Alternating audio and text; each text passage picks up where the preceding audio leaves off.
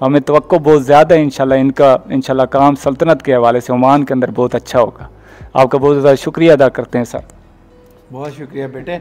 और आप लोग मुझसे बात करते रहा करें क्योंकि आपके ज़रिए हमारी रीच बढ़ती है।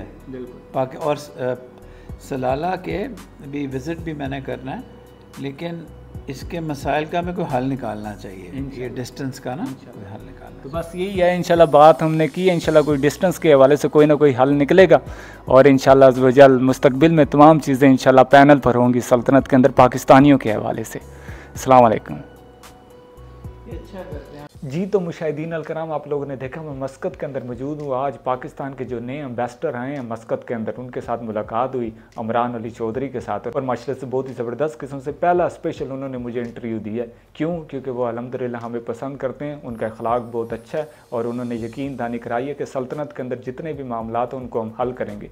मैंने स्पेशल सलाला के हवाले से बात की है कि सलाला के अंदर बहुत ज़्यादा दिक्कत परेशानी है। डिस्टेंस बहुत दूर है। सल्तनत के अंदर दो लाख से ज़्यादा पाकिस्तानी लेकिन सिर्फ़ मस्कत के अंदर ये एम्बेसी वगैरह मौजूद है। कोई इस तरह की कोई अदारा, कोई इस तरह का बन जाए, सलाला के अंदर भी के तमाम मामला को देखा जाए तो इस हवाले से ओमान के सफ़ीर की तरफ़ से इन शजल ये कहा कि हम लोग इन मामला को देखते हैं और डिस्टेंस को इन हम लोग कम करने की कोशिश करेंगे, यानी कि कुछ इकदाम करेंगे। तो इस हवाले से मज़ीद आप लोग को बता दें कि सात मिनट का ये मुकम्मल इंटरव्यू है। काफ़ी सारी चीज़ों का इम्पोज किया है। सल्तनत के अंदर जो पाकिस्तान के नए सफ़ीर हैं, उन्होंने मना किया लोगों को कुछ चीज़ों के हवाले से बताया, वो पूरा इस इंटरव्यू के अंदर आएगा। फ़ौरन से पहले आप लोगों को देंगे, मैं थोड़ा मसरूफ़ हूँ यहाँ पर तो इंशाल्लाह यहाँ से मैं फ्री होता हूँ तो पूरा जो इंटरव्यू है वो भी आप लोगों को इंशाल्लाह टेलीकास्ट करेंगे, थोड़ी सी एडिटिंग वगैरह कर कर। तो ये इस पर तक की अपडेट्स थी। राव फजल अजीम को दीजिए इजाज़त।